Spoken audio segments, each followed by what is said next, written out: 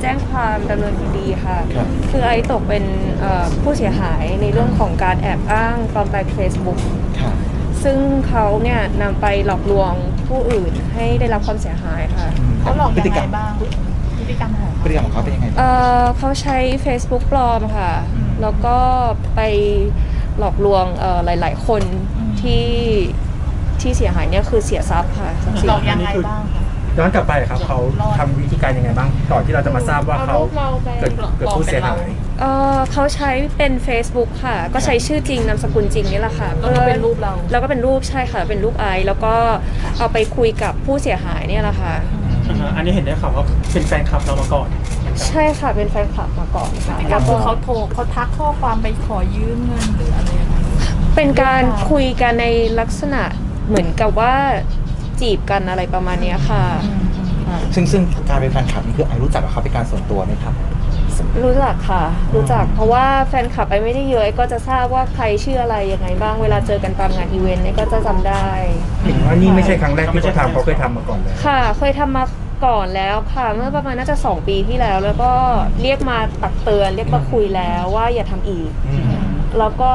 หลังจากนั้นก็ทำอีกค่ะ ตอนนั้นไอรู้ได้ยังไงว่าเป็นเขาที่มาปลอมเป็นเรา ตอนนั้นเออเป็นแฟนคลับคนอื่นมาบอกค่ะว่ามี Facebook อันนี้ที่เล่นอยู่หรือเปล่า ไอไม่ได้เล่นดีไวไม่ได้เล่น ตอนนั้นเราไม่ได้แจ้งความเอาผิดอะไรแค่ตักเตือน ค่ะ ตอนนั้นไม่ได้แจ้งความ เพราะว่าเอ่อผู้เสียหายอีกคนที่โดนเนี่ยเขา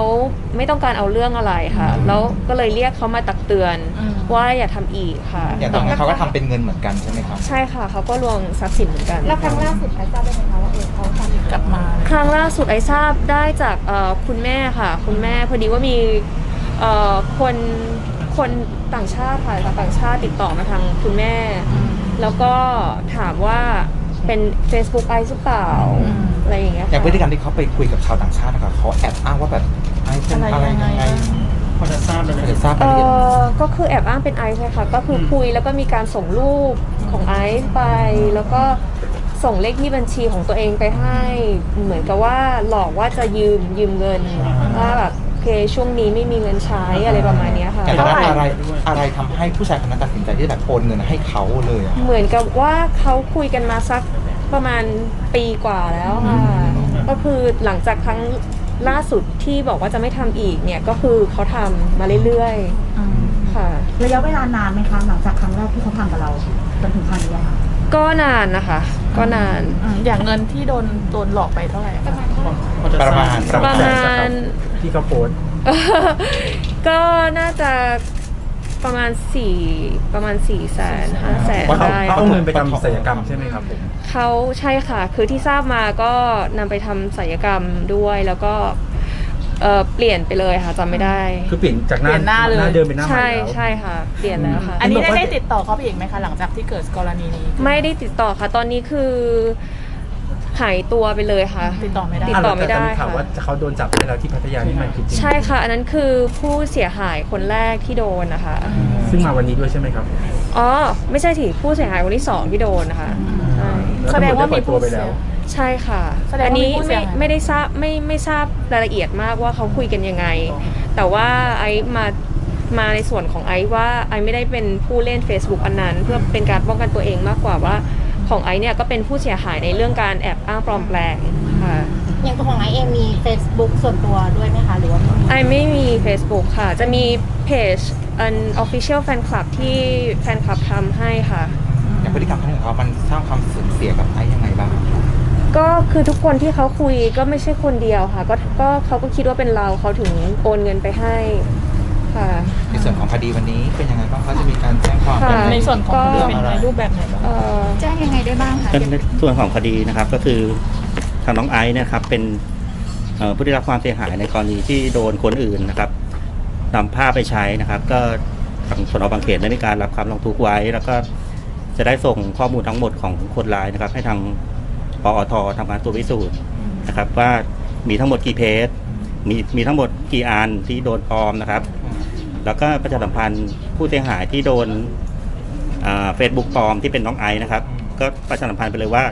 คนที่ท่านคุยอยู่เนี่ยอาจจะไม่ใช่นะครับ ก็น่าจะเป็นมิจฉาชีพ สามารถแจ้งความยังท้องที่ที่ทางความผิดเกิดขึ้นหรือว่าใกล้บ้านก็ได้ครับ อันนี้แต่ไม่ข้อสามารถข้อเอาผิดในข้อหาข้อหาเอ่อในส่วนของน้องไอซ์เนี่ยน่าจะเป็นเอ่อพรบคอมพิวเตอร์มาตราที่ครับ6ในการนำภาพคนอื่นไปใช้นะครับอืมแล้วก็ทำให้เสียชื่อเสียงครับ ก็เดี๋ยวจะทำการสอบสวนต่อไปครับโทษถึงโทษสูงสุดถึงขั้นอะไรครับเอ่อจำคุกไม่เกิน 2 ปีปรับไม่เกิน 2 0 0แสนครับพรบคอมพิวเตอร์ครับ หากหากมีการแบบสืบหลักฐานต่างๆ แล้วอาจจะมีการกล่าวหาเพิ่มเติมอะไรอีกไหมคะ ก็จะมีเรื่องการช่อโกงประชาชน แต่ว่าเรื่องของการช่อโกงประชาชนเนี่ยเอ่อผู้เสียหายคือคนที่เสียเงินนะครับ คือคนที่โอนเงินไปนะครับ ก็ผู้เสียหายใครที่โดนหลอกเนี่ย ก็สามารถแจ้งความที่โรงพักใกล้บ้านได้ครับ ตอนนี้มีผู้เสียหายมาแจ้งตอนนี้ที่บางเขนยังไม่มีครับ ไอ้ตั้งใจจะเอาผิดเขาขนาดไหนยังไงที่สุด บ้างคะไอ้คือไอซ์ก็ในส่วนของไอซ์เนี่ยไอซ์ทำได้แค่ส่วนหนึ่งค่ะ แต่ว่าในส่วนของผู้ที่เสียหายจริง ๆ ที่เขาเสียทรัพย์สินไป อันนี้เขาสามารถดำเนินคดีอย่างเต็มที่ได้ ว่าเขาต้องการให้มันเป็นไปในอย่างรูปแบบไหนอะไรอย่างเงี้ยค่ะที่บอกว่า4ี่แสนนี่ผู้เสียหายประมาณกี่คนครับสองคนค่ะรวมกันสี่แสนค่ะ แต่ว่าที่ทราบมาเนี่ย มีมากกว่าสองคนค่ะ อืม ที่เสีย ซึ่งยังไม่รู้นะใช่ค่ะประต่างประเทศที่ทราบไหมคะประเทศอะไรอ่าอเมริกาค่ะ อยากบอกอะไรไหมว่าเราไม่ใช่เรานะอะไรอย่างเงี้ยอยากจะบอกถึงแฟนคลับคนนั้นที่เขายังเออ ทำพฤติกรรมอย่างนี้อยู่ ก็ถ้าได้ดูอยู่ก็เอ่อหยุดเถอะค่ะ เพราะว่า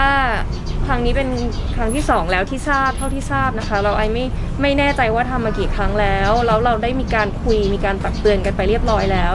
คิดว่าไม่ควรจะทำอีก แล้วก็ควรจะหยุดหยุดได้แล้วค่ะแสดงว่าครั้งนี้เราจะไม่ใจดีแล้ว ก็ใจดีมาแล้วครั้งหนึ่งค่ะ ก็ตักเตือนไปแล้ว แต่ว่าครั้งนี้เนี่ยมีผู้เสียหายซึ่งได้รับความเสียหายเพิ่มครับแล้วและที่ไม่รู้อีกอะค่ะก็เลยคิดว่าควรจะมาแจ้งความดีกว่าค่ะ